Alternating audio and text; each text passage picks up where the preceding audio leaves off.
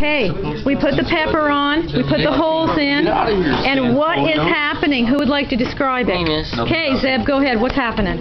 The red is flowing into the blue side, and it's making the top of it turn red. Yep.